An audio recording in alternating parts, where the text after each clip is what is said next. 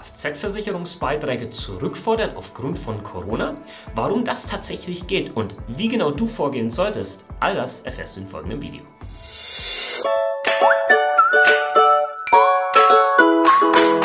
Servus und Hallo bei Versicherungen mit Kopf. Erst verstehen, dann versichern. Mein Name ist Bastian und dieses Video kann tatsächlich dafür sorgen, dass du bald ein paar Euro mehr auf deinem Konto hast.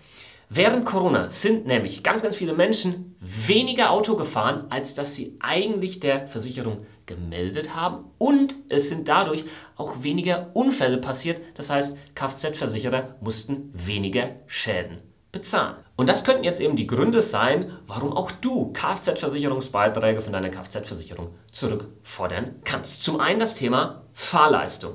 Wenn du jetzt tatsächlich im Jahr 2020 um einiges weniger gefahren bist, als was du der Versicherung gemeldet hast, was du fahren wirst. Beispielsweise, du hast vielleicht 20.000 Kilometer angegeben, die du im Jahr fährst. Jetzt bist du vielleicht nur 9.000 Kilometer gefahren. Dann ist es durchaus möglich, dass du diese Differenz, was du hier mehr gezahlt hast, zurückbekommen kannst, weil es ist ja durchaus so, dass die Fahrleistung einen Einfluss hat auf den Beitrag je mehr du fährst, desto höher das Risiko, dass hier vielleicht irgendwann mal ein Unfall passiert, desto höher der Beitrag. Und diese Differenz könntest du jetzt einfach rückwirkend zurückfordern, weil ja die tatsächliche Fahrleistung niedriger war. Das ist das eine. Das andere könnte es sein, und hier aber auch gleich mit dazu gesagt, das ist wohl bei den wenigsten Versicherern der Fall, dass dein Versicherer sagt, hey, wir hatten halt im letzten Jahr viel weniger Unfälle als sonst, weil einfach weniger Menschen Auto gefahren sind. Und dadurch hatten wir ein paar Ersparnisse, wir mussten nicht so viele Schäden regulieren und geben jetzt hier einfach so einen kleinen Bonus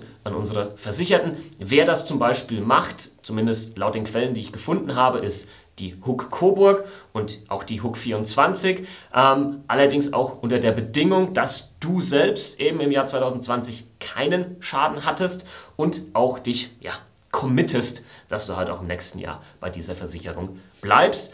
Mein Tipp wäre jetzt an der Stelle, dass du einfach mal deine Versicherung kontaktierst und da solltest du vielleicht wahrscheinlich auch das eine oder andere beachten. Und bevor du deine Kfz-Versicherung kontaktierst, solltest du die folgenden Punkte jetzt unbedingt noch wissen.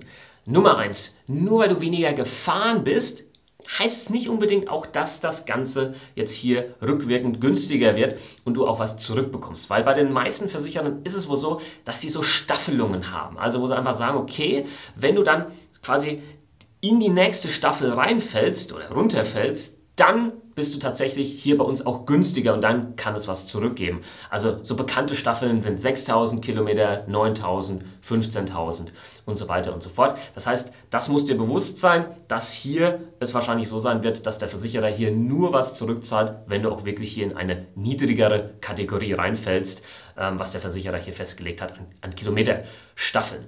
Das ist das eine. Das andere ist, die Versicherer werden wahrscheinlich nicht unbedingt von sich aus äh, das Ganze hier ähm, zahlen und auf dich zukommen, sondern du musst hier proaktiv ähm, das Ganze an den Versicherer melden. Und meine Empfehlung wäre auch, dass du hartnäckig bist.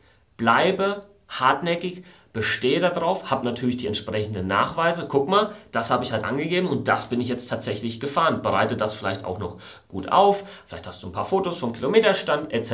Mach es dem Versicherer so einfach wie möglich und dann sei aber auch hartnäckig und manchmal kann es natürlich auch helfen, wenn man sagt, hey, lieber Versicherer, ich kenne ganz viele andere Versicherer, die machen das ohne Probleme, die erstatten das zurück. Übrigens, unabhängig von Corona. Ja? Also das hat ja nichts mit Corona erstmal per se zu tun.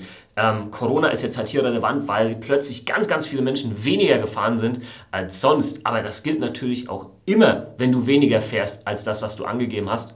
Und natürlich auch umgekehrt, wenn du mehr gefahren bist, als das du angegeben hast, dann kann hier eine Nachzahlung kommen. Also, das ist hier mein Tipp. Bleibe hartnäckig, bestehe darauf und vielleicht kannst du so ein bisschen drohen, ey, dann wechsle ich halt nach der nächsten Periode, wenn das hier überhaupt nicht möglich ist, weil eigentlich machen das halt viele andere Versicherer auch. Das wären jetzt hier noch meine Tipps. Mich würde mal interessieren, hast du das Ganze vielleicht schon durchgeführt? Dann schreib mir hier unten rein, ob das bei dir geklappt hat und vor allem schreib mal mit rein, bei welchem Versicherer du versichert bist. Das wäre unglaublich cool, dass wir hier dann in den Kommentaren viele verschiedene Rückmeldungen schon haben, wo es geklappt hat ohne Probleme, wo Versicherer von sich aus vielleicht auch geleistet haben, bei welchem Versicherer gab es wirklich diesen Schadenbonus, wo der Versicherer nochmal on top gezahlt hat, weil weniger Schäden passiert sind. Würde mich persönlich interessieren, aber natürlich auch alle anderen Zuschauer. Nimm dir da kurz die Zeit, schreib das unten rein. Wenn dir das Video gefallen hat und du mehr Tipps möchtest in Zukunft, liken, abonnieren und check mich natürlich auch auf Instagram aus. Hier kannst du mir persönlich Nachrichten schreiben. Hier gibt es jeden Tag Versicherungsnews, Updates, Tipps, Tricks und ja, praktische Hinweise. Wir sind jetzt mittlerweile auch schon 54.000 Leute dort. In diesem Sinne, wir sehen uns wieder im nächsten Video. Ich freue mich schon drauf. Bis dahin, liebe Grüße, dein Basti von Versicherung mit Kopf. Ciao.